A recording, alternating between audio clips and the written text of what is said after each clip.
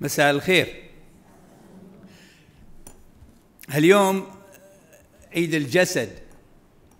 وشفنا بال شفنا بالقداس علاقة الله بالعالم وعلاقة الله بالطبيعة بأجسادنا. فأتصور هذا هذه المحاضرة اليوم راح يكون إلى امتداد بهذا الجسد بنفس الوقت الرائع وبنفس الوقت المتألم. أتصور الصوت ما هالقد. نعم. okay؟ يلا. ده تسمعون الصوت زين؟ ها؟ إيه. زين. فادي ده تعالج الصوت؟ okay. نعم.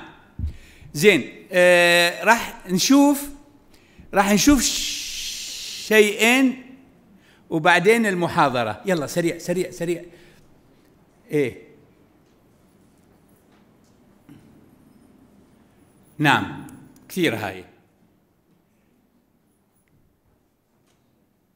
أوكي وزع أوراق رامي. وزعوا الأوراق. هم حتى الناس تسجل الأسئلة. نشوف قسم الأول. فد مجموعة من الصور عنوانه يوم قلب الرب مجموعة ألوانه على الأرض.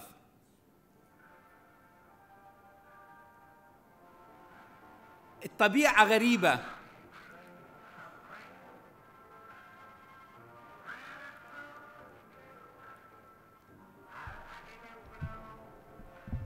هذا لويس ارمسترونج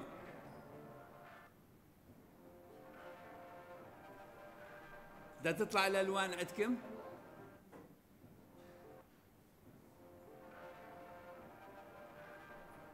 هكذا تأملوا منين منين جتي هالألوان؟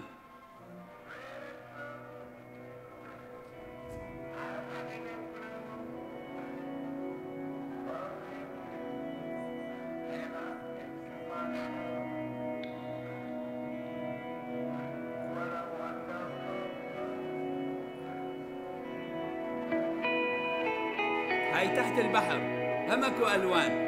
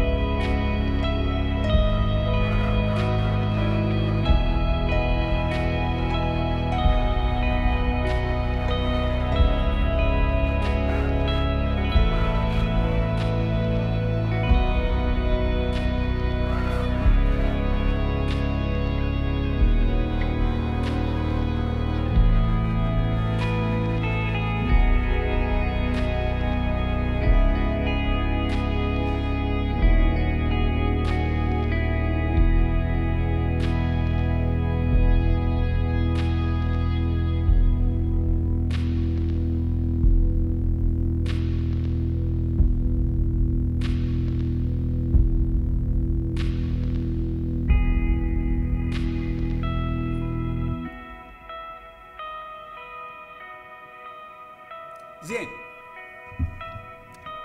هذا القسم الأول. واحد يتساءل هل جمال هالألوان الموجودة بالطبيعة هل ننتبه له؟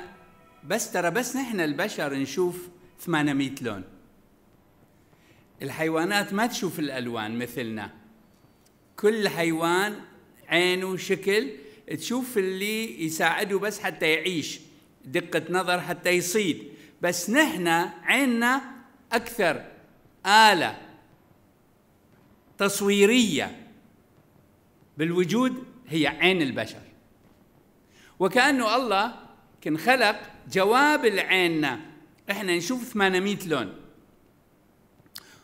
هذه الألوان وهذه الطبيعة هي جزء من الجانب الإيجابي الموجود على الأرض.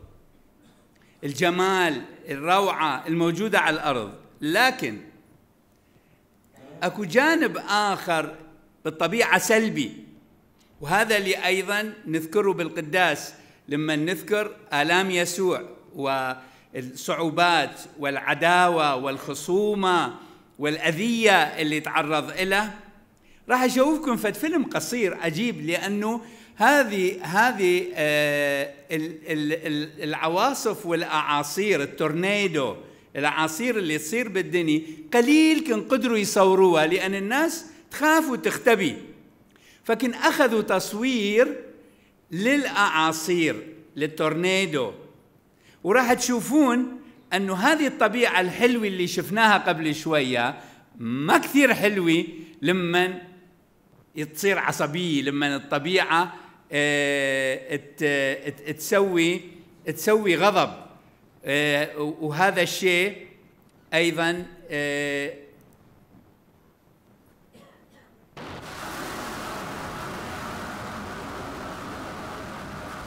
الإعصار الإعصار. طبعا المصورين عرضوا حياتهم للخطر لأن بعض اللقطات راح تضخم. بس ما راح تصدقون أنه هكذا هواء ممكن يشيل بيوت يشيل لوريات يطيرها. شوفوا البيت. لو هذا الكهرب شوية تقللونه فادي.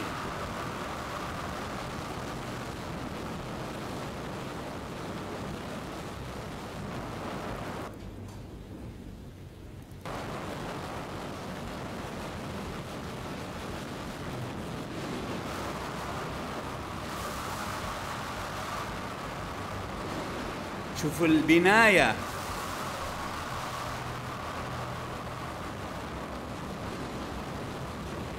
شوفوا السيارة شوفوا السيارة شو يصير بيها.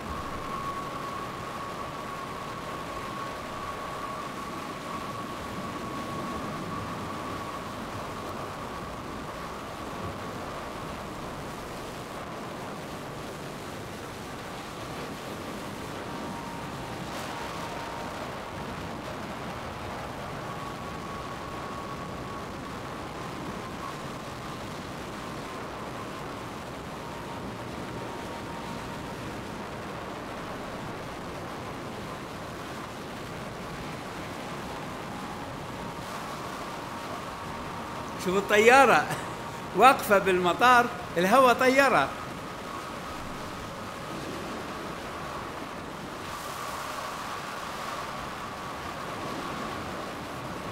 لوري.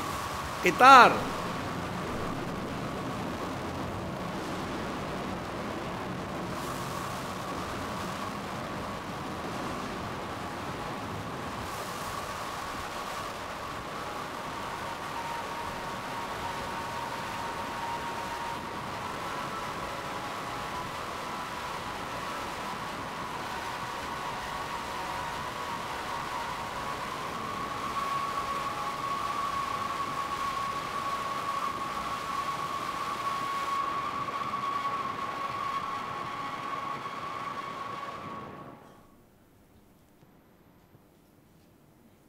أنا اللي يعجبني بهذا الفيلم هو المصورين.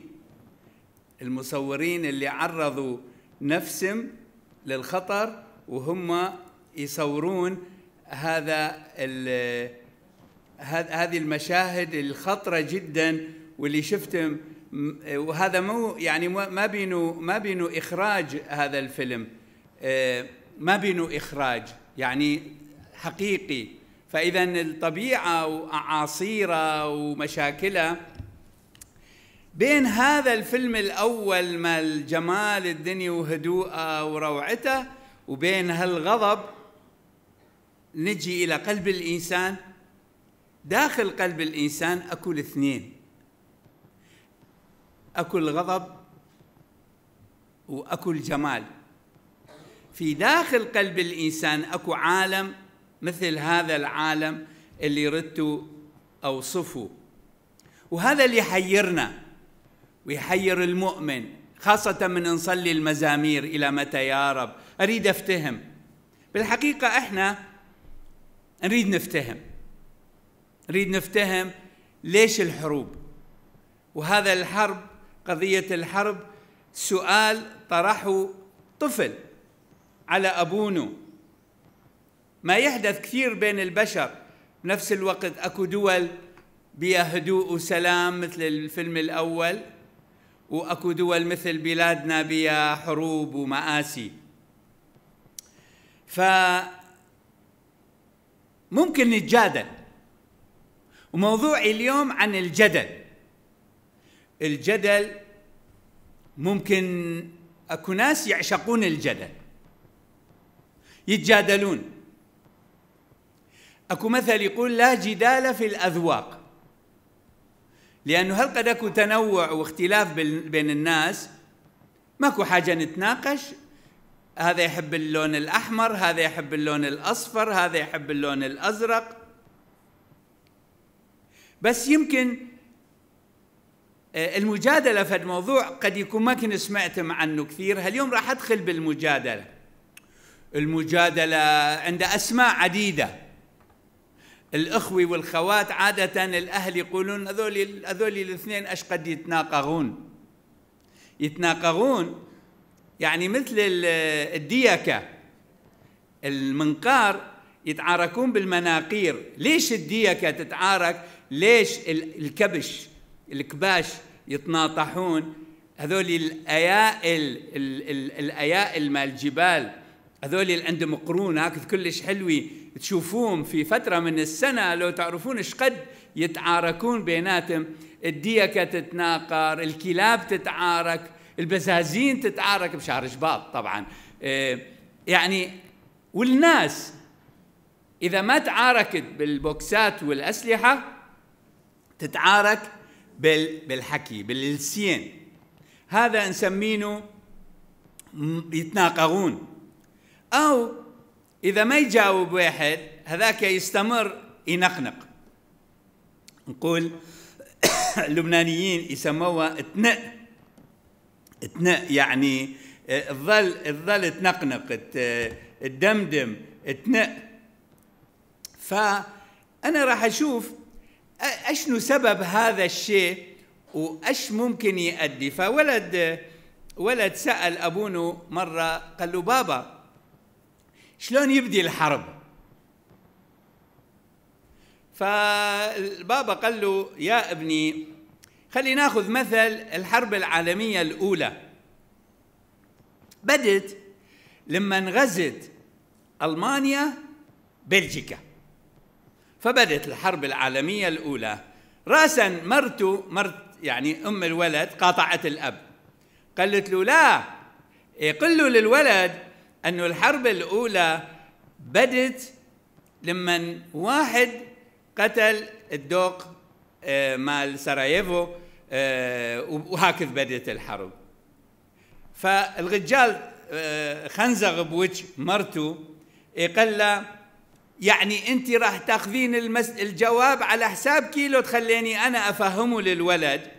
هي ما عجبها الجواب كشرت دارت ظهره سفقت الباب وطلعت زعلانة. الميز مال الاكل وهاي قامت القلاصات كلها تتراقص وصار فد سكوت.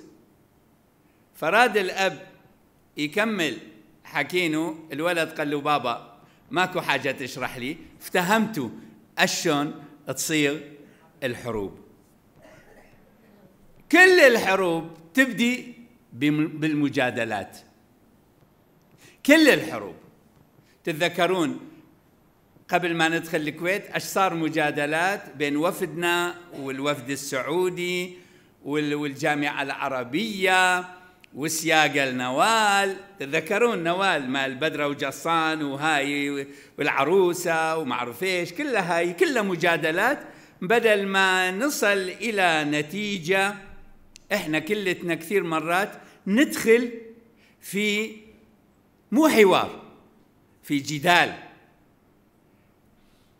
وهذا الجدل راسا يصير عصبية.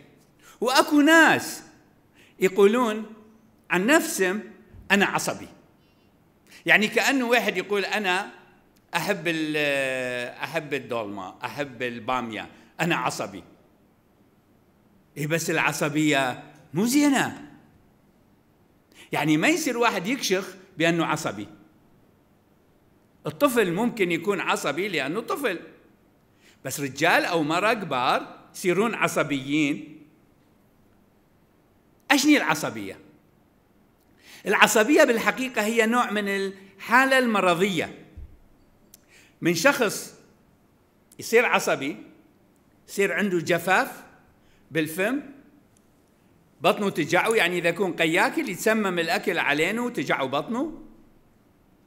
جسمه كله يحمى. راسه يدوخ. نبضات قلبه إذا ناخذها تصعد نبضات قلبه. وخاصة يطلع من ثمه كلمات مو زينة. ويمكن يمد ايده يمكن يضرب يمكن يأذي وبعد شوية يتندم. على الشيء قاله أو على الشيء عمله وأحيانا الندم ما يفيد.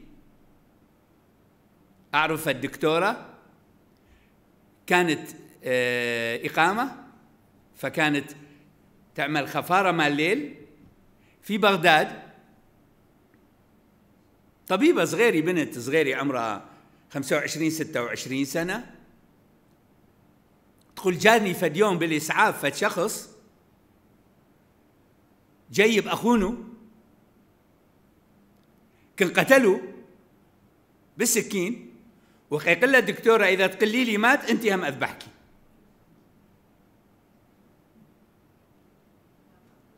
إذا قلتي لي مات أنت هم أذبحك مسكيني دكتورة إيش تعمل؟ في حالة عصبية جدل بين الأخوة راسا قتل أخونه. إحصائيات العالم تقول صحيح كل الحروب كل كل المآسي مع الحروب تبدي بالجدل لكن كثير من البيوت تخرب بسبب الجدل. ويقال أنه البيوت اللي تخرب بسبب العناد والجدل أكثر من البيوت اللي يصيبها حريق أو موت الله. أشنو الجدل؟ إحنا نعرف أن الجدل دائما هو خارج الحقيقة. لأن واحد يعند على قضية وجهة نظر واللاخ يعند على وجهة نظره واثنينهم غلطانين. يحكون أشياء ما بيها فايدة ويدورون ويسقلون في مواضيع تضيع وقت. الجدل ما بينه فايدة. ضياع للطاقة وعناد وراح أبرهن لك وأتشارط معاك بأنه هالشكل هي الحقيقة وأحيانا الجدل يؤدي أنه شخص عزيز. صداقة ثلاث سنين تخرب بثلاث دقائق جدل. وياما كن صارت أصدقاء عمر. ما أعرف شلون وكأنه الشيطان. قدح قدحة صغيري بيناتهم. وارتفعت عندهم الحماوة وطلع من ثمهم اثنينهم أو واحد منهم طلع من ثمه فرد شيء. كلام ما كان يقصده بس كان مخزون بينه. وهذه راح تخرب عيشتهم وتخرب صداقتهم وينفصلون ويبتعدون ويتقاطعون وياما وياما تندموا بعدين بس فات الوقت. ما بقى حتى الاعتذار وحتى هاي يقول هذاك اللاغد يقول الجلاس انكسر ما بقى أنا أقدر أرجعه مثل قبل. مع الأسف هذا ممكن يصير بين الأزواج ممكن يصير بين القرايب ممكن يصير بين الأخوة والخوات ممكن يصير بين الولد والأب أو الأب والولد. حالات كثيرة نعرفها كلتنا بعوائلنا كنا سمعناها قصص زعل سنوات. الخاطر جدل صغير أو توتر صغير عبر شوية الحدود اللي ما قدرنا نحن نسيطر عليها. أكو فد نكتة تنحكي على المتزوجين آه، بها شوية كشف يقال الزواج تعريف الزواج هو ثلاث مراحل. بالخطوبة هو يحكي وهي تسمع. وبعد ما يتزوجون هي تحكي وهو يسمع. وبعد فترة اثنينهم يحكون والجيران يسمعون. يسمعون الصياحات. إذا الجدل منو يشوفوا؟ منو يسمعوا؟ الناس الآخرين اللي قيشوفون هذول الاثنين مو طبيعيين. بس يمكن لو ننزل بالعميق يمكن بعض الناس يحبون الجدل من أجل الجدل. يريدون يبرهنون للآخر عن أنه هي على حق.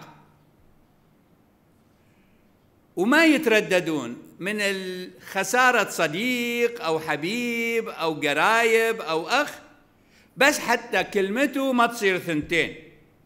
وهو أو هي تبرهن على أنه هي على حق. وحجتهم هي الأقوى.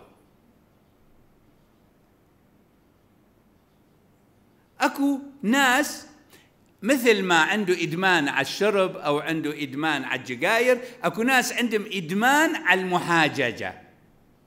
يعني ما تقدر تقعد في مجلس إذا هذا الشخص ما يعند ويمرمر القعدة. بسبب محاججته أو مجادلته وكأنه عادة راسخة بينه بشكل طبيعي. كل الناس تعرف هذا لا تناقشه لأنه ما تقدر أنت توقف مجادلته. وما يقبل برأي أحد. هو ضد الكل ويعجبه يكون ضد الكل. يعني حتى لو كل الناس متفقين على فد شيء لا أنا ما موافق على هذا الموضوع. وراح يطلع لنا فد زاغور فد شيء بس حتى يفرض نفسه أو يفرض رأيه ويا ويله يا سواد ليله للي يعترض علينا ويقول فد شيء يتناقض معانه هذا يبتلي على حاله. وراح تطول لي الساعة 12 بالليل والناس هذول يريدون ينامون خطية. اش ابتلوا عزمونه هذا ويقولون توبة بعد نعزمه أكفت شخصية بأمريكا أمريكية اسمه بنيامين فرانكلين. أحد أوائل الرواد أو الأبطال اللي اللي أسسوا أمريكا الولايات المتحدة الأمريكية. وهذا فد شخص عظيم كاتب وعالم وخاصة سياسي ودبلوماسي. يحكي يحكون عنه في في تاريخ حياته أنه بداية شبابه كان مصاب بهذا المرض يسمونه مرض الجدل القهري. يعني تحكوا آه، الجدل يحكوا لازم لازم يقول عكس ما أنت تقولين. لازم يعني إذا قلتي هذا أبيض يقول هذا أسود وإذا إيش ما تقولين يقول العكس. ويظل ريكب راسه ها ريكب راسه غريبة يعني يمشي على المقلوب. هاي ريكب راسه إيش معنى ريكب راسه يعني يمشي راسه جوا ورجلينه فوق يعني ضد الطبيعة. هذا الفيلسوف العظيم كان في شبابه كثير كثير يحب المجادلة والمحاججة. فرد يوم واحد من أصدقائه أخذوا على جهة قال له تعال بنيامين تعال معي دقل لك. أخذوا على فرد جهة. قال له يا بن تعرف أنت كن صرت ما حد يجرعك؟ أنت تعرف كل مرة تفتح ثمك وكأنه تضرب بوكس على الناس اللي تتناقش معاهم خاصة اللي يختلفون معاك بالرأي حتى أصدقائك يتمنون ما تكون بالمكان اللي أنت بينه. يعني من يكونون موجودين انت انت لما تكون موجود موجود يتجنبوك. انت تتصور نفسك تعرف. بس بالحقيقة قدامك ما حد يقدر يحكي. وما حد يقدر يقول رأيه. وما حد يريد يناقضك. لأنه كل مناقضة معك هي انزعاج وهي عمل شاق. اتاكد اتأكد أنه أنت بهذا الأسلوب كي تكشف بأنه كل شيء تعرفه ما يسوى. لأنه قد تخسر الناس وتخسر أصدقائك وتخسر حبايبك. هذا الكلام ما دخل في أرض صحراء لا. بما أنه بنيامين فرانكلين كان فد شخص عاقل وكان ذكي أخذ كلام صديقه أخذه حرفيا وبدل أسلوب حياته وقبل على نفسه أنه هو فعلا كان صار مزعج وما راح يقدر ينجح بحياته وراح يؤدي بهذا الأسلوب إلى كوارث اجتماعية وعلائقية علاقات وصداقات. لذلك أخذ قرار. شلون واحد يأخذ قرار؟ بعد ما يشرب ما يدخن أخذ قرار ما يصير عصبي. يطول خلق وما يتجادل وما يتحاجج غير طريقة نقاشه مع الناس. وصار أشهر سياسي في الولايات المتحدة ومن أحكم رجال أمريكا الدبلوماسيين في التاريخ الأمريكي. والناس دائما تذكره بالخير وتذكر خاصة هذه الجملة المشهورة اللي في نهاية حياته قال شوفوا هاي الجملة أش قد حلوة من شخص عكسه تماما شلون الإنسان ممكن يكون مثل مثل الخاطئ اللي يهتدي. ممكن يكون خاطئ يصير قديس. بنيامين فرانكلين قال إذا كنت تجادل وتثير غضب المقابل وتتناقض معه قد تحقق عليه انتصارا أحيانا لكنه سيكون نصرا فارغا لأنك لن تحصل على كسب إرادة الخصم إلى جانبك. حتى لو غلبته بس أنت غلبته باذلاله ما بذكاء ولا بطيبة. شوف هذه الجملة أنا أشوفها جدا مهمة. لأنه لا بالماضي ولا بالحاضر ولا بالمستقبل بالجدل والمحاججة ما حد ينتصر. وبالصياح والعياط والعصبية ما نحصل ولا شيء. والغريب أنه عادة لو تنتبهون الناس من تحكي آه، أجلب انتباهكم آه، تنتبهون إلى نبرة الصوت. نبرة الصوت. الحكي مرات لما يكون هادئ الحكي إيه أشونكي إيه إيه أشتغيت ما ذاك اليوم شفتوكي بالسوق. يعني شوفوا النبرة مع الصوت الهادئ هي نبرة خلينا نقول قرار. أشونكم رحنا إيه بس من يصير مجادلة؟ مو عشرين ألف مرة قلتولك شوفوا النبرة إيش يصير بها النبرة تصعد. من شخص يحكي بنبرة عالية طبعا أنا من أحكي مع 200 شخص لازم أرفع النبرة حتى يوصل الصوت. هاي هاي من أساليب الإلقاء والبلاغة. بس لو كنتم قاعدين بس اثنين ثلاثة قدامي النبرة مالي راسا تنزل. هذا أعلمه منهجية الوعظ. حتى اللي اللي مقابيل. يعني ما يصير يكونوا اثنين قدامي وأحكي شلون كيف؟ كنت لا ما يصير. هذا اللي يحكي هالشكل ما يعرف يقدر الصوت اللي يطلقه. يعني مرات أقول للي يقرون بالكنيسة إذا تقرون قدام أربع أشخاص ممكن تقرون بصوت هادي بس من تقرون قدام أربعين شخص آه، ارفعوا الطبقة حتى يوصل الصوت. نفس الشيء بالغضب. الغضب عادة يرفع وكأنه المقابيل علاش قصيح مو أنا ما أطرش أنا دا أسمعك. أنت علاش تصيح؟ شوفوا دائما اللي يصير عصبي يرفع النبرة مال صوت مالته. يصيح؟ مو بس يصيح يزعق. ويصير وجهه أزرق. زين شلون ممكن شخص عصبي يقنعني؟ حتى لو كان هذا على حق. حتى لو كلامك على حق. من صرت عصبي وقمت تصيح ما راح أقتنع بكلامك. الناس ما تصدق ما تصدق بالصياح. أكو مثل يقول نقطة عسل تجتذب ذبان ذباب أكثر من برميل خل. يعني حكي كثير وصياح كثير وعياط كثير ما تجر. بينما نقطع عسل كن عسل وراح تشوف الناس كلها تجي عليك. ويمكن مرات باللقاءات أو العلاقات الاجتماعية. أكو فرد نسمينه مجاملة. أكو ناس تعرف أنت عصبي أو انت عصبية فشي يسوون؟ فرشة يجاملوكي. أشونكي؟ ها حرام. إيه لا حقك إيه إيه حقك إيه ما يريدون يدخلون بيرادوا مصرف معك ما يريدون يناقشوك. يتفقون معك بعد ما تروح من هناك دخل إيه. بالحقيقة اللهجة اللهجة اللي نحكيها مع الناس تخليهم في موقف دفاعي. فاليوم واحد دق الباب. كنت بغداد دق الباب فتحت الباب. قال لي أشوف أنتم ما تساعدون الفقراء. قلت له شب. راسا من رفع النبرة رفعت النبرة. زين انت جيت تقدي لو جيت تتعارك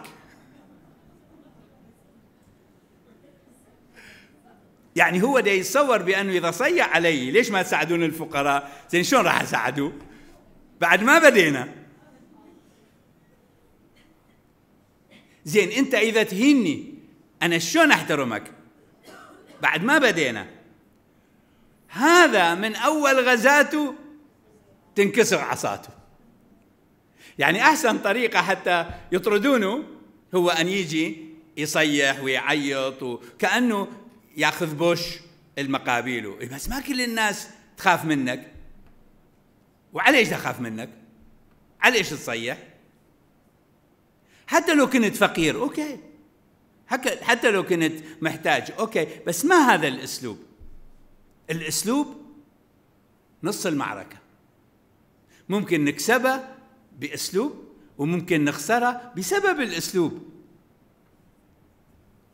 بالحقيقة أكو في كل لقاء أكو منطق. ممكن أنا أعرف فد, فد حقيقة ممكن عندي خبرة بس المقابل يمكن ما يعرفها. زين شلون أغير رأيه؟ شلون أقنعه؟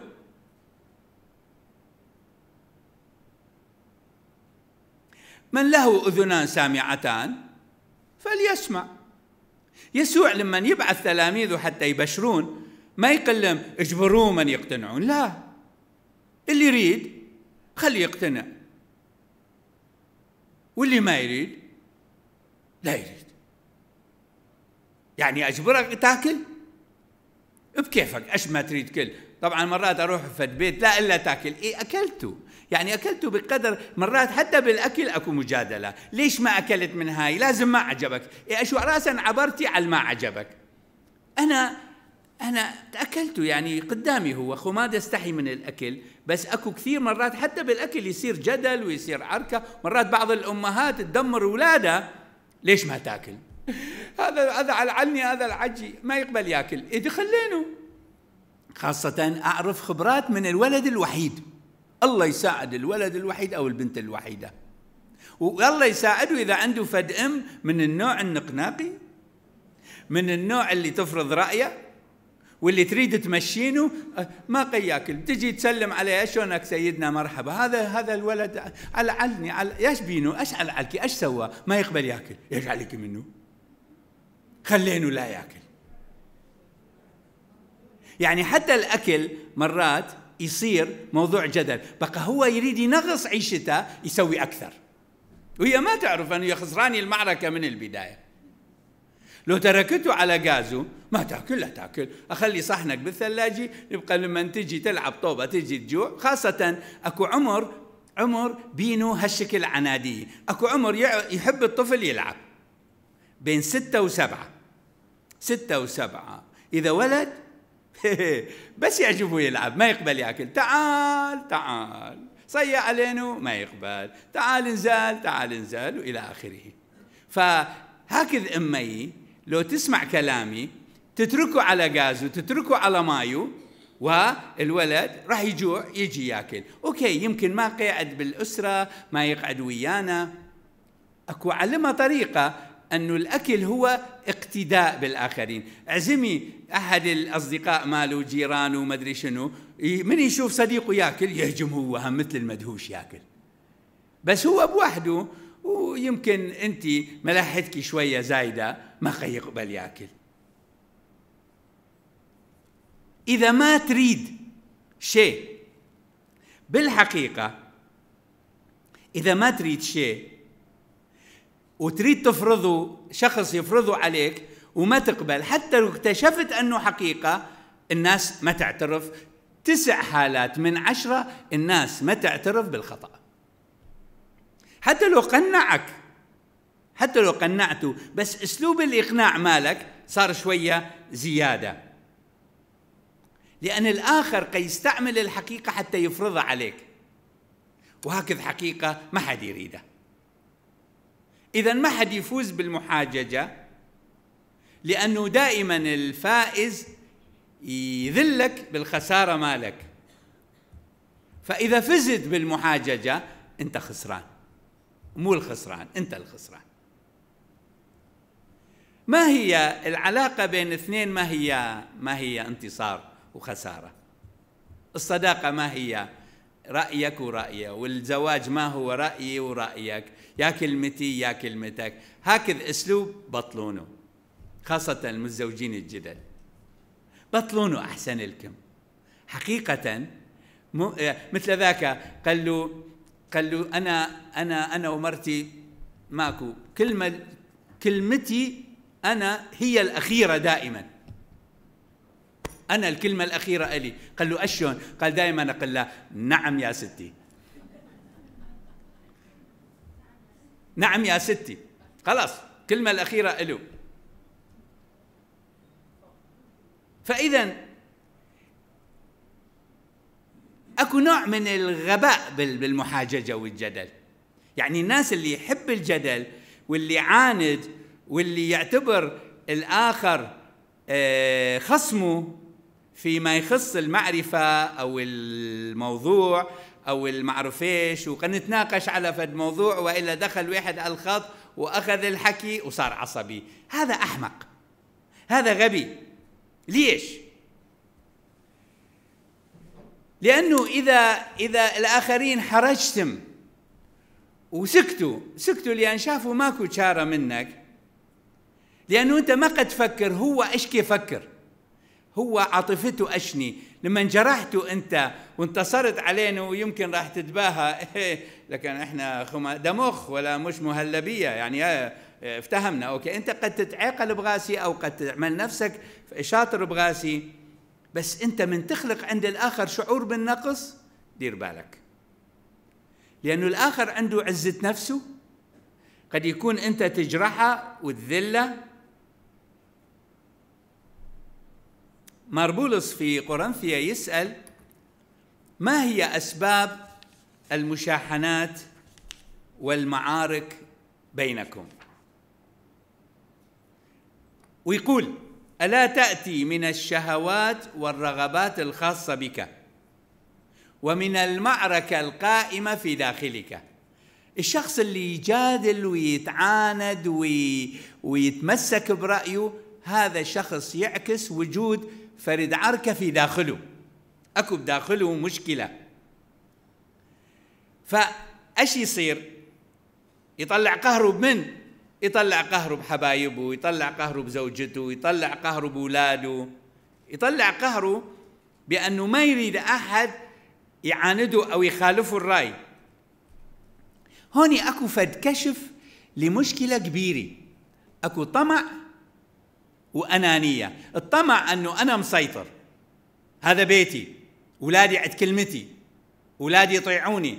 ما مثل جماعة الأخ ما مثل جيراننا. ما مثل هذوك ولا يديروا له بال أبوهم. لا أنا أقول كلمة ما تصير ثنتين.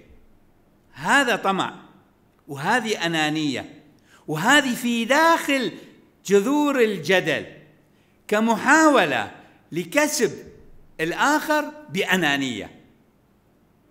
هكذا الحجج هي بالحقيقة نابعة من خطيئة التكبر. والكتاب المقدس يقول التكبر هو أساس الخطيئة مال آدم لأن لما الله يحاججه يقول له ليش أكلت؟ يا إيش اكلته؟ هاي أعطيتني يا هاي هاي المراه أعطيتني طبعا هي اللي جربتني، أنت يا مراه ليش أكلتي؟ إيه هاي الحي إيش عفنا؟ اذا لو قالوا يا رب إحنا غلطنا سامحنا العفو كان انتهت المشكلة تكبر كبرياء والكبرياء أساس كل خطيئة محاججة الكبرياء يعني اعتبار النفس مقياس. البابا القديس يوحنا بولس الثاني كان يسمي زماننا زمان الليل الأخلاقي. زمان الليل الأخلاقي. ليش؟ لأنه كل واحد يقول أنا رأيي أعمل شيء يعجبني أعمل بكيفي أخلاقيات اللي تعجبني أخذها. هاي وصايا مال مال الانجيل هاي كلام المسيح. إيه هاي جملة تعجبني بس هاي ما أطيق عليها. من ضربك على خدك الأيمن ما يقطع عقلي منه. أنا اللي يضربني وحدي أضربه الثيثين ضربي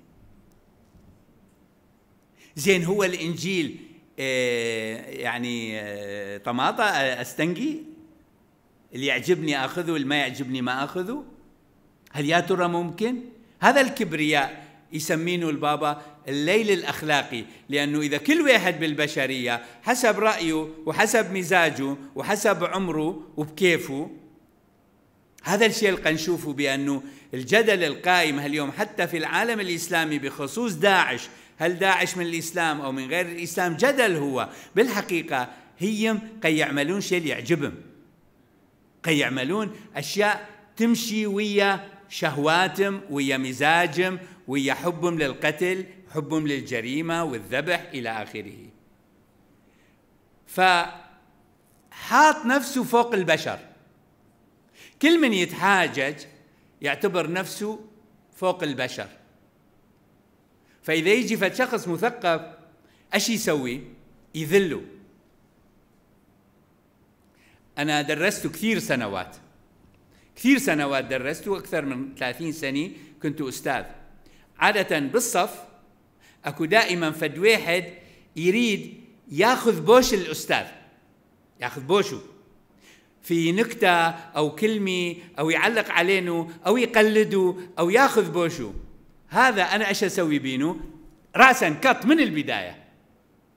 هذا أفلش أسلوبه. أفلشه بحزم حتى لا ينعدون الآخرين بينه.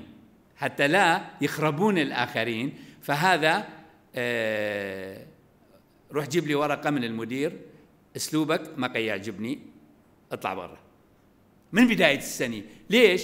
لأن يعني أنا جيت وقد أعطيك درس. أنا ما أستاذ كامل. أوكي كن حضرت درسي كن حاولت أعمل فد شيء طيب كن حاولت كل شيء. بس إذا أنت تتحاول أن تظهر نفسك على حسابي لا هاي ما أقبلها. أنا الأستاذ ما أنت؟ أنت طالب عندي. يوم اللي تصير أستاذ بالخير أعمل أشياء يعجبك. بس هسه دوري أن أكون أنا الأستاذ ما أنت. فهذا هذا ممكن يكون موجود كبذرة صغيرة في داخل بعض الناس. يكون موجود في جمهور. أنا أشعر أنه في في محاضراتي مرات كان عندي أكثر من ألف ألف ومئتين شخص. يقوم فد واحد مو حتى يسأل بس حتى يقول يعني أنت جيت تعمل لنا محاضرة أنا كنت أتصور أنت جيت تسأل لو جيت تتعلق على محاضرتي مرت لا تجي يا عزيزي. هل قد عندي؟ اللي يعجبك كله اللي ما يعجبك لا تاكله بس تنتقد طبخي لا عيني لا. إيش بينه هذا الشخص؟ مرات ممكن يكون مثقف محامي دكتور ما أدري شنو. يعني شلون يصير هذا؟ ماخذ الجمهور وقي يحكي وقي يعمل فأحاول شوية أذله ليش؟ حتى يقولون شوف شلون قدر بهدلوا وغسل بينه ومسح بينه القاع ليش؟ عيب. ما حلوة. ما حلوة. ولهذا نشوف كثير من المشاحنات والمحاججات هي سبب الاعتداد بالنفس. أو وجهة النظر مالي أدفع عليه قدام وأتصور أنه هي هي عقلي أو أسلوبي يحطني فوق الكل. ملخص المسألة. هسا إذا نلخص الحكاية كلها والمشاكل مع الحروب والمشاكل اللي قيعيشها عالمنا بالحقيقة هي كلها نقص في المحبة. نقص في المحبة. ليش؟ لأن المجادلة هي ظاهر لمرض عميق بينا وهو نقص في المحبة. يعني تخيلوا زوج وزوجة يحبون بعضهم تصورون راح يتناقضون؟ مستحيل. أخو أخته يتناقضون إذا يحبون بعضهم بعض يخاف عليها يخاف على أخته تخاف على أخوها بس من يكونون بالبيت ويتناقرون معناته الأمي لازم تعرف أو الأب يعرف أن أولادهم من قي يتناقرون لازم يعلموهم شلون يحبون بعضهم. بالحقيقة في بداية هاي الخميسات اللي بديتوا بيها قبل ثلاثة ثلاثة أسابيع وعدتكم بقراءة زماننا. يعني ناخذ مفاتيح لقراءة هذا الزمان. وواحد من الدروس الرئيسية اللي حاولت أن أعطيها بنوع من التوازن. كيف نفهم الشيء وضده. مثل ما شوفتوكم فيلم عن جمال الألوان اللي موجودة بالطبيعة والضد موجود في هذا التورنيدو في هذه الأعاصير اللي تخرب وتدمر وتكسر ويمكن تموت الناس. فاذا في داخلي أكو أنا تورنيدو وأكو أشياء حلوة. ليش أنا أطلع الأشياء الما حلوة وما أشوف الأشياء الحلوة؟ السؤال هو كيف أحب الناس؟ كيف أقدرهم؟ كيف أشوفهم على حقيقتهم؟ أنتم من تاكلون برتقال أو تاكلون طماطة هل يا ترى كن جاب بالكم تقولون سبحان الله؟ إيش قد الأحمر حلو. إيش قد البرتقالي حلو. إيش قد الألوان حلوة. أكو أطفال صغار عمرهم سنتين ثلاثة من يجون على الكنيسة أشوفهم يرهمون ألوان. عنده ذوق البنت يعني ما قوة. عنده ذوق تحب الألوان تحب تلبس. أنا لازم أنتبه إنه هاي الطفلة قد تشوف أشياء أنا لازم اشوفها آه برافو عليكي. عافية عليكي. مبروك. هذا إيش قد حلو؟ هذا الجوربي. إيش قد حلو هذه القراصة؟ إيش قد حلو هذا الفستان؟ أشوف اللون.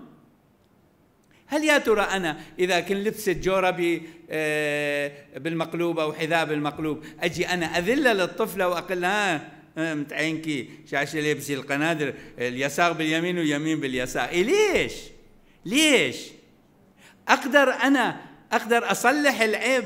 آه، أقول له دقيقة دقيقة خلينا نشوف اقعدها حبيبي إيه، تعالي دا شوف. أنا أنا أنزل إلى مستواها وأبدل الحذاء وما أذل للطفلة. ليش أنا عندي عادي أنه أذل الناس لما أشوف فد عيب بيهم؟ ليش أحكي عن الناس؟ صحيح يمكن مرات آه، أكون واقف معاكي أو معاك وما أتجادل معاك. بس يعجبني أحكي على ثالث. هذا هم نوع من الجدل. لما نحكي عن الناس ونقص بلحمهم ونحكي وإيش اسمه. هذا أيضا وأنا ما مثل فلاني. إيه تعالي شوفي. إيه وأرفع نفسي على حساب الناس. ليش؟ ليش؟ أنا ما بحاجة لا أرتفع ولا أنخفض. بالعكس من خفض نفسه ارتفع يقول يسوع. رفع الأعزاء عن الكراسي. ها؟ أنزل الأعزاء عن الكراسي ورفع المتواضعين. تقول مريم عذراء في في نشيد نشيدة. إذا أكو قلة حب بينا.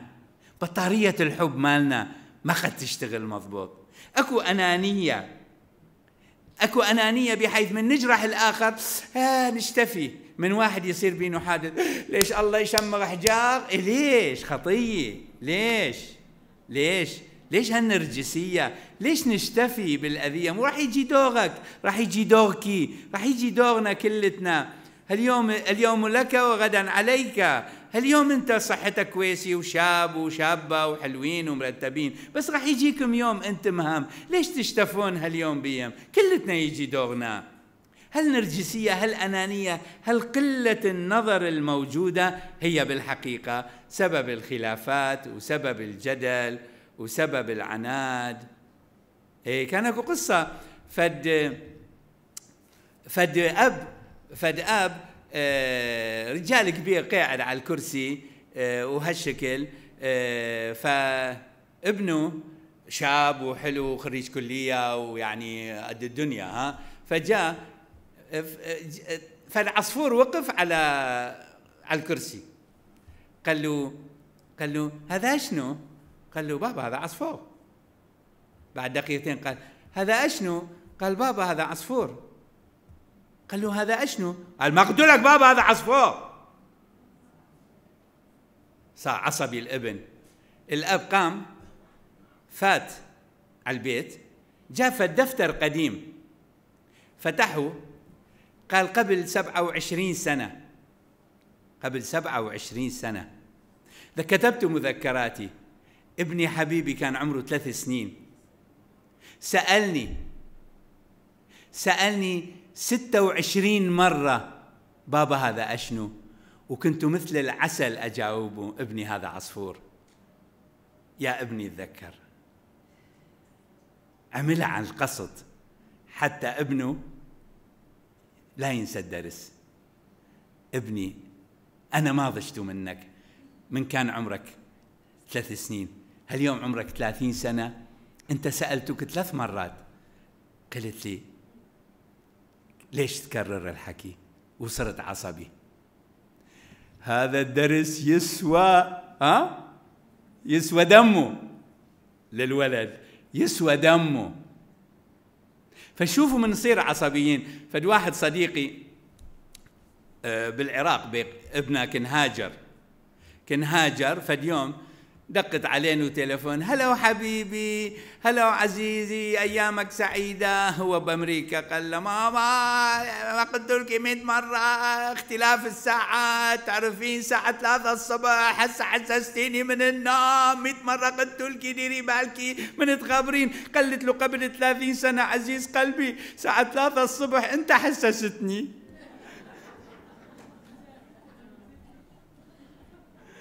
انت حسستني قبل ثلاثين سنة أنا ردت أعطيك درس. ردت أعطيك درس حتى تتذكر. عاملوا الآخرين كما تريدون أن الآخرين يعاملوكم.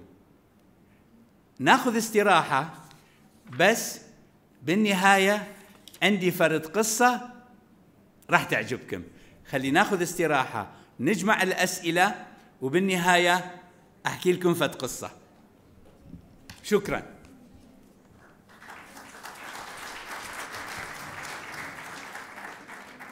شكرا سيدنا راح ناخذ استراحة خمس دقائق واللي عنده أسئلة راح نجمعها واللي يحب يكتب أسئلة ونوزعكم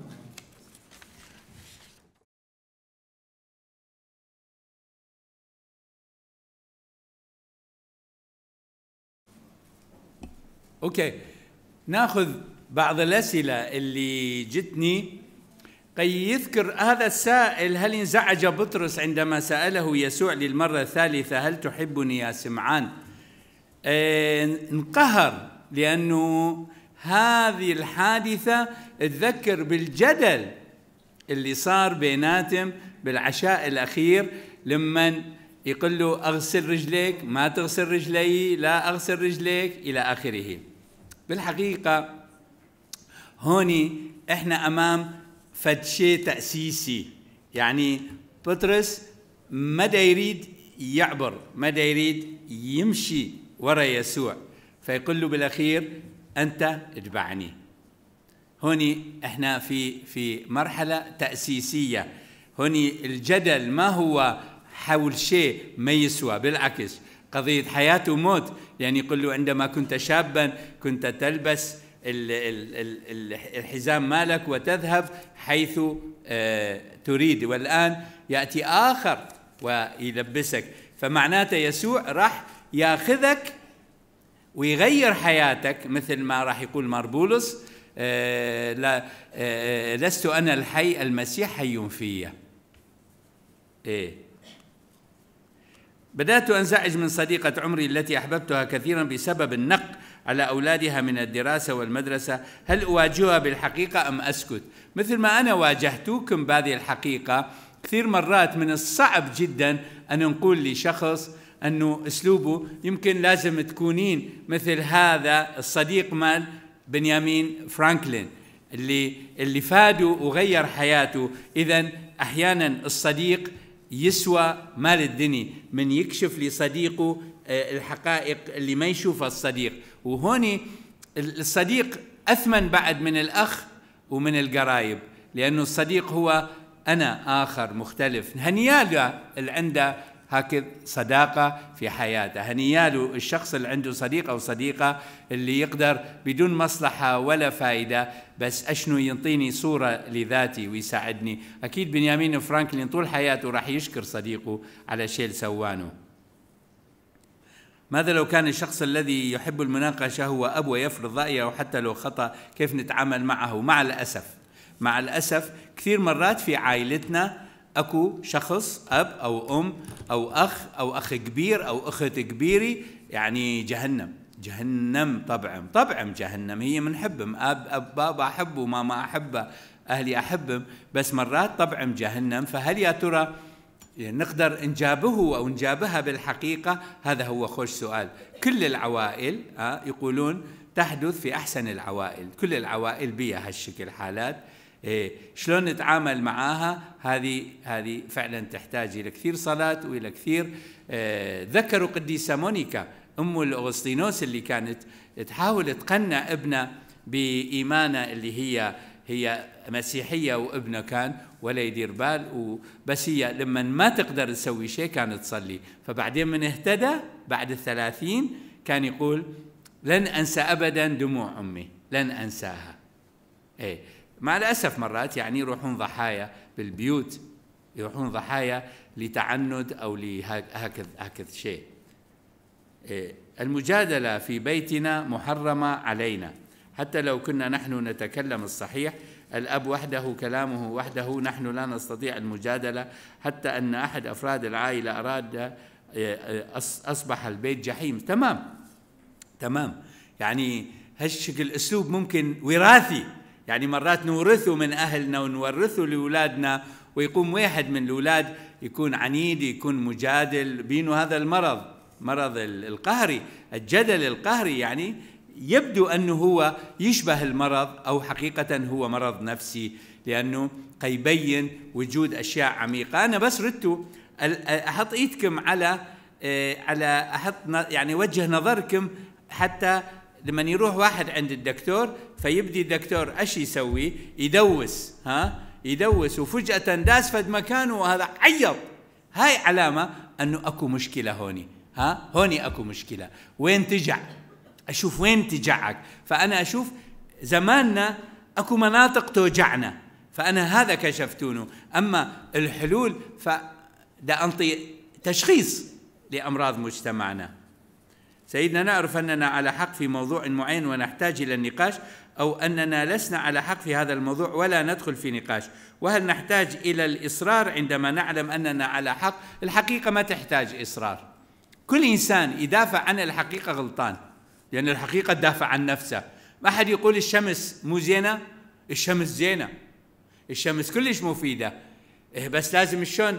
يعني ما ما أجي أسوي دعاية للشمس. ها فإذا الحقيقة ما تحتاج إصرار ولا عناد. فحقيقتك أنت وجهة نظرك أنت. ها وجهة نظرك. يعني أنت إذا تباوع من هالزاوية تشوف قلم. إذا تباوع من هالزاوية تشوف نقطة سوداء بس. وجهات النظر تختلف بحسب الزاوية اللي ننظر إليها. فإذا الآخر إذا ما يشوف معناته إما عنده عمل ألوان أو ما يشوف. أكو مشكلة بعينه. أكو مشكلة بوجهة نظره. ما هي أول خطوة نتخلص من الجدل وكيف نعرف بأن في بعض الأحيان نحن على حق في موضوع معين ونحتاج إلى النقاش وبين مرة أخرى لا نحتاج النقاش وندخل في جدال من الطرفين. بالحقيقة كان أكو اثنين معلمين يهود إحنا كثير استفادينا منهم و و و واليهود اللي كانوا بالعراق كان عندهم مدارس يهودية تعود إلى القرون الأولى قرن الأول قبل المسيح كان أكو اثنين معلمين يهود ربابنا واحد اسمه هليل والآخ اسمه شمعي. بيناتنا الحكي هليل هو اللي عطى اسمه لمدينة حلة. حلة من هليل هليل. فهليل وشمعي آه، هليل كان آه، يحبوا الشمعي وشمعي يحب هليل بس من يلتقون يتناقضون. بس هذا الأسلوب كان أسلوب الأصدقاء. وناس تقعد وتتونس وهذا يقول وهذا يرفع وهذا يكبس بس أبد ما يزعلون. فسمونه الأسلوب هذا أسلوب المباهلة المباهلة أو المناظرة. اثنين أذكياء يحكون وهذا يجيب براهين وهذا يجيب براهين بس كله بأدب. واحترام وتقدير. بحيث توما الكويني بالقرن الثالث عشر آه، ورث أسلوب المباهلة. أخذون الأسلوب الفلاسفة قاموا يستعملونه وكان ولهذا أكو مثل بالموصل يقول دور على اللي اللي يبكيك لا تدور على اللي يضحكك. ليش؟ لأنه اللي يناقشك ويعصرك أمام الحقيقة أنت راح تضطر تتعلم منه. ولهذا كان عندنا في بغداد في أحد الأزمنة كان أكو 250 مجلس بغدادي كانوا يحبون أسلوب المناظرات. المناظرة ما هي جدل هي ذكاء ذكاء نجيب شخصيتين كل من هاي مثل الاتجاه المعاكس. فد برنامج طيب هو لأنه كل واحد يجيب براهينه. بس أحيانا ها فيصل القاسم يحاول يخلص من الضربات اللي تجي لأنه فجأة تصعد الحماوة. هذول ما كن تعلموا فيقوم يهدي وايش اسمه وعلى القصد يخلق مشاكل بيناتهم ويشلشهم ويجيب مواضيع قوية. هذا هذا فن هذا علم. هاي مباهلة أو مناظرة. فاذا لازم نتعلمه هذا الفن. من أسباب الجدل هو أن الطرفين متجادلين غير مستعدين للصمت والإصغاء والتفكير بالتضحية والتنازل. كيف نقنع مثل هذا النوع من الناس على ضوء الإيمان؟ أنتم لاحظتم أن الناس اللي يتجادلون ما يسمع الجواب. آه، أنا آه، أريد أقول لك فد شيء. أقول له أوكي خليني أشرح لك. لا أعرف إيش راح تقول إيه دقيقة لك عاد ليش قاعد تسألني؟ يعني ما يخليني أحكي. ما يخليني ما يسمع جوابي. هذا كثير مرات اللي اللي جاي آه، يعني اللي جاي يريد يتعارك راح يتعارك. حتى لو أنا طولت خلق كيف أتعامل مع الشخص العصبي؟ يعني هو هذا هذا الموضوع. العصبية بالحقيقة لازم هذا الشخص العصبي يعرف بأنه العصبية ما بيها ذكاء ما بيها عقل. والدليل أن الطفل أول ما يولد يصير عصبي. بعد هو عمره كم يوم؟ ها؟ أه؟ مو البيبيات؟ يبكي ويصير عصبي وينحمق ويحمر ويزرق وايش اسمه؟ دقيقة على كيفك. هي الممية تأخرت شوية. إيش صار؟ فالكتاب مالي مال عندما يظهر الطفل آه، فرانسواز دولتو تعلم الأم تقول لما يصير الطفل كي عصبي هدينه بالحكي. احكي معانه بنبرة لا صيحين علينا الله ياخذ روحك والله بلاني بيك. لا خطير. حبيبي هسه تجي الممية ودا أحضر لك هي. نبرة صوتك راح تهدينه فأنا أصور الكبير هم هو بيبي شوية مو؟ آه.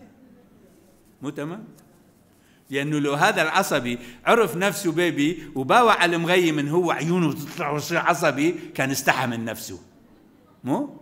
كل عصبي جيبوا له مغي أحسن شيء خبوا مغي ها تحت المخدي بس عصبي. راسا يضحك. راسا يضحك.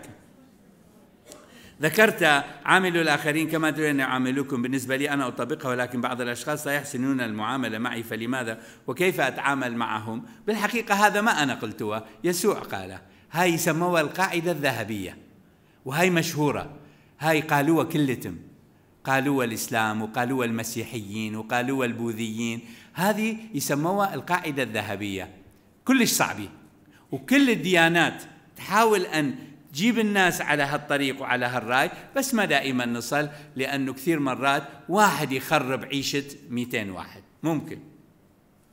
من هو المسؤول على غضب الطبيعة من أعاصير أو الحرائق أو غيرها؟ أليس الله؟ ها جينا. أنا هذا اللي ما قلتونه وجينا علينا إيه الطبيعة الطبيعة آه هي ناقصة.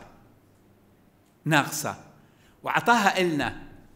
فلما إحنا نبني ونعمر وطبيعة ناقصة إيش لازم نسوي؟ ليش يصير زلازل في اليابان؟ وكل 20 30 سنة يجي زلزال هالقد قوي يدمر شوية. بس القتلى اللي في اليابان أقل بكثير مما لو نتصور. ليش؟ لأنه يعرفون أرض زلزالية يبنون بيوت بطريقة آه هاي. أتذكر كان مرة عملته يعني فد نشرته مقالة انه صار زلزال في كاليفورنيا سنة 89 89 88 أو 89 وصار زلزال في أرمينيا في مدينة اسمها شبيتاك. زلزال أرمينيا لأنه الاتحاد السوفيتي وبناء مو زين فماتوا 25 ألف شخص في مدينة جمري أو شبيتاك. وبنفس السنة بنفس الوقت تقريبا صار زلزال في سان فرانسيسكو اللي هي أكثر زلزالية بعد من أرمينيا. بسبب الجسر الجسر هذا الكبير انهز وقعت سيارات فوق بيوت وماتوا 73 شخص فقط. لأنه هي بأمريكا يعرفون أنه منطقة زلزالية يأخذون حذر. فإذا السؤال هو يعني آه، الطبيعة صح بها عيوب بس إحنا نقدر نقدر نعالج بأنه ناخذ حذر. يعني إذا إذا إذا إذا هذا ذاك اليوم خطية قالوا فد مرة اشتعلت زين لازم ناخذ حذر أنه هاي الطباخات مو زينة، ناخذ حذر آه، أجهزة آه، جهاز يعني ممكن مجسمه الغاز خطيه هاي المرة. كل هاي مفتوحة الغاز. هل يا ترى نحن نفكر بالخطر قبل حدوثه؟ هل الطبيعة انطتنا الغاز حتى ننسى الدقمة مال طباخ مفتوحة؟ ويمكن بنت يمكن ولد يمكن أحد طلع من من المطبخ ونسي الطباخ الغاز مفتوح. هل هذا صوت الطبيعة؟ لا خطير. فإذا قد ما نكون حذرين؟ كثير من الناس يسألوني من أكون برا بخصوص كركوك وشي نسوينه أقول لهم بالحقيقة أنا ما أخاف بس أنا حذر. أنا حذر أنتبه. شلون؟ شلون نسوق القضية؟ شلون الخطر نهتم بينه؟ يعني مثل السياقة ممكن كل لحظة أندعم بس أنا أنتبه. السياقة أشني؟ ثانية وحدة ما تنتبهون اندعمتم. هاي الطبيعة.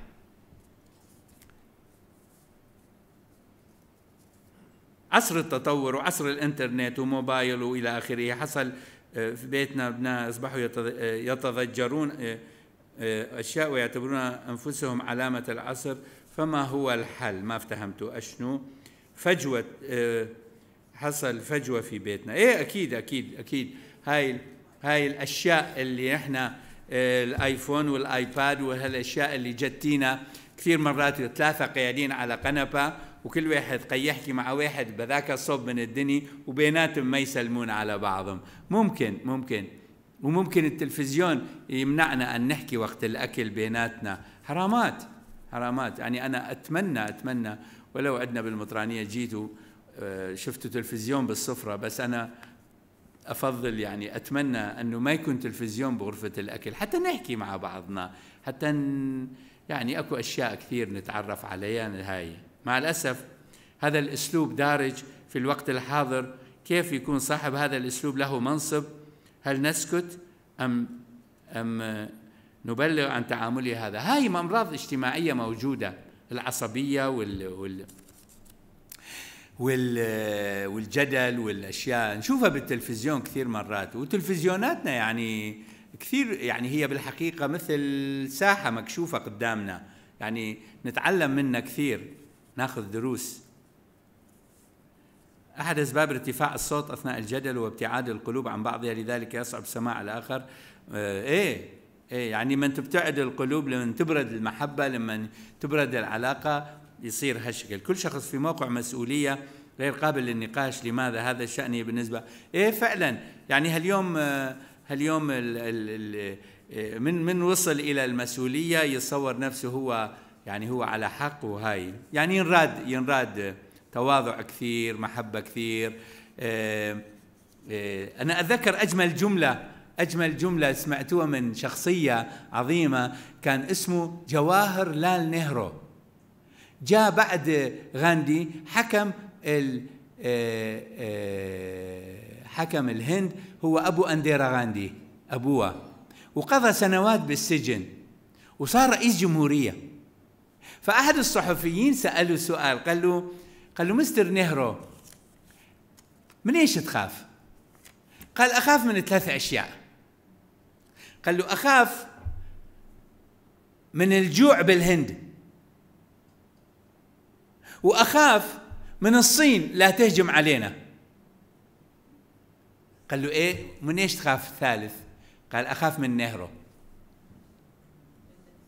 قال له منو الأخطر؟ قال نهره إذا كان متكبر إذا كان مغرور إذا كان شايف روحه. نهره أخطر من الجوع نهره أخطر من الصين نهره أخطر على الهند من هالاثنين. رجل عظيم. فأنا أتصور كل شخص مسؤول خليه ياخذ درس من جواهر لآل نهرو. أكو سؤال ما عنده علاقة بشيء قلتونه بس أقرانه. أين يلتقي العلم والدين وكيف يتناغم الاثنان؟ ممكن ناخذه بالأسابيع المقبلة. في حالة قرار مصيري لعائلة واحد من الطرفين عصبي والآخر عنيد والشخص العصبي هو عنده حكمة فكيف تتخذ قرار بدون أن تصير مجادلة وتجريح؟ ماكو داعي. ماكو داعي. أنا أخذ مثل. أكو واحد صديقي كان عقله يطير من تدخل ذبيني بالأوذة يتخبر. ما يتحمل لأنه تعرفون إيش سوى؟ أخذ شكوش ولحقه. هي ذبيني. إيه ذبيني؟ ما تنقتل بالشكوش يا أبني. كسر الآثاث. كسر الشباك. قتله بالشكوش هذا العصبي صاحبنا ها؟ هذا اللي اللي عنده حكمة. هذا عنده حكمة؟ ما عنده حكمة. اللي يصير عصبي؟ ما عنده حكمة. واحد من الأسئلة كان بظهوهم سؤال فالظاهر هذا آه، اقتصد بالورقة ما يخالف. آه، أنا أعيش مع هكذا شخصية أي الإصرار على كل شيء ودائما هم على صواب فكيف أتعامل معهم؟ لأني متعبة جدا من أسلوبهم. إيه؟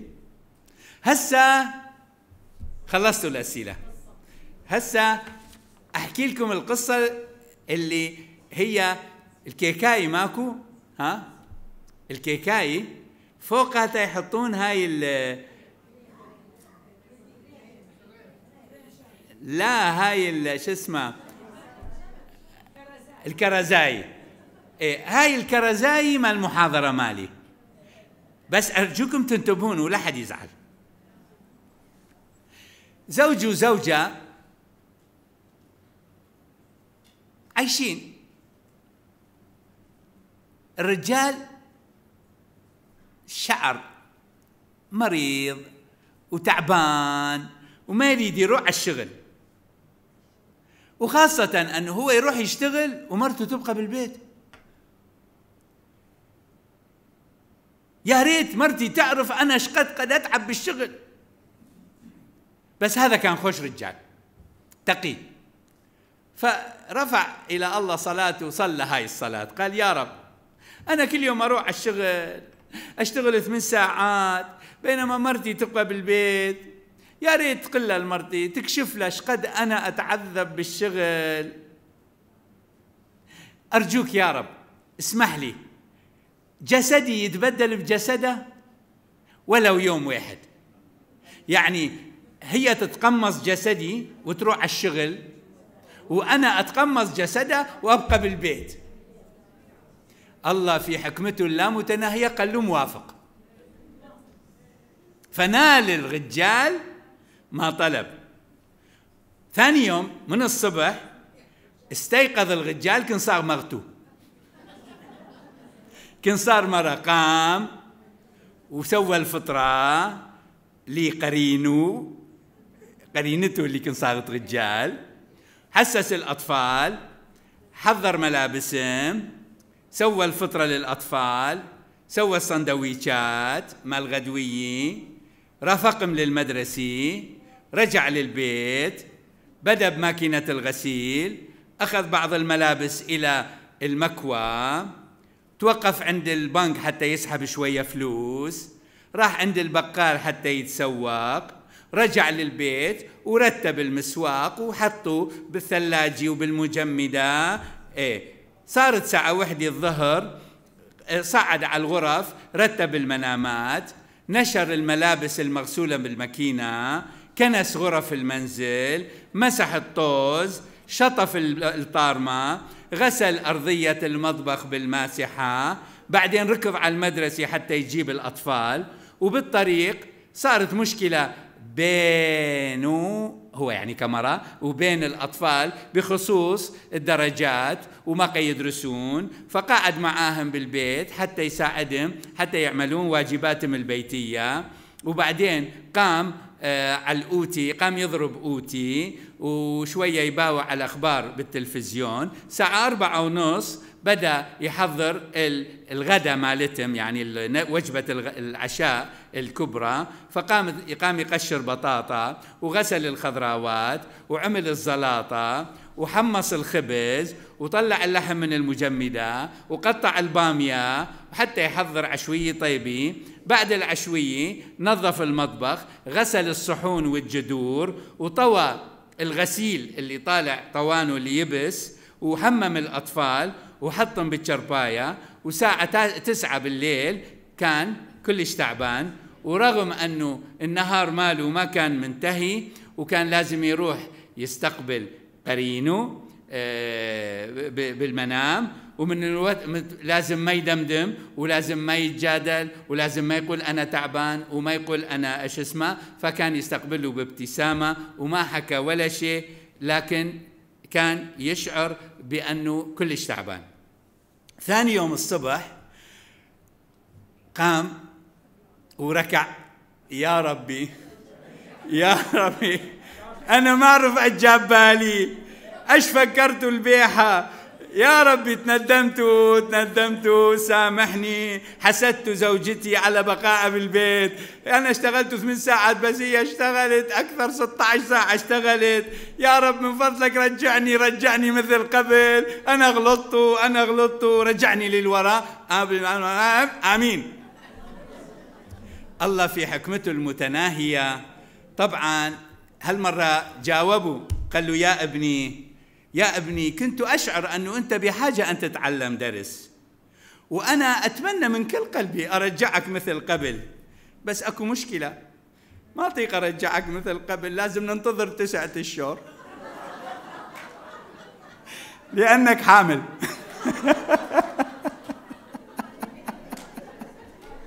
وكنا عندكم وجينا.